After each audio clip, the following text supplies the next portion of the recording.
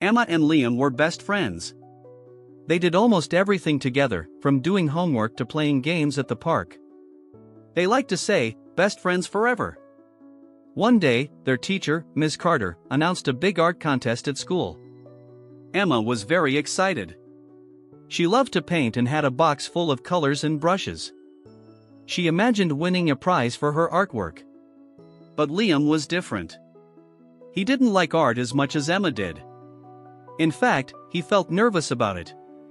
I'm not good at drawing, Emma, he said, looking down at his hands. Emma put her hand on his shoulder. Don't worry, Liam. I can help you. We can practice together after school. It will be fun. So, every day after school, Emma and Liam met in Emma's backyard. Emma showed Liam how to draw simple things, like trees and houses. Sometimes, they laughed when their drawings looked silly. Other times, they were proud when they finished a nice picture. The night before the contest, Liam still felt nervous. What if I mess up? he asked Emma.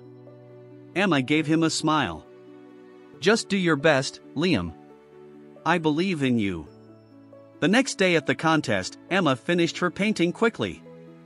It was a beautiful picture of a rainbow over a small village. Liam, however, took a bit longer. He felt nervous as he painted a picture of a tree with birds flying above. He tried to remember Emma's advice just do your best. Finally, the teacher looked at all the paintings and announced the winners. Emma won second place. She was happy but noticed Liam looking down. He didn't win any prize. Seeing her friend sad, Emma went to him and said, You did amazing, Liam.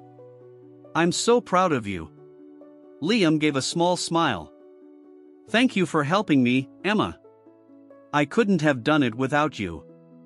Emma nodded and said, That's what friends are for. They high fived and laughed, promising to always help each other no matter what.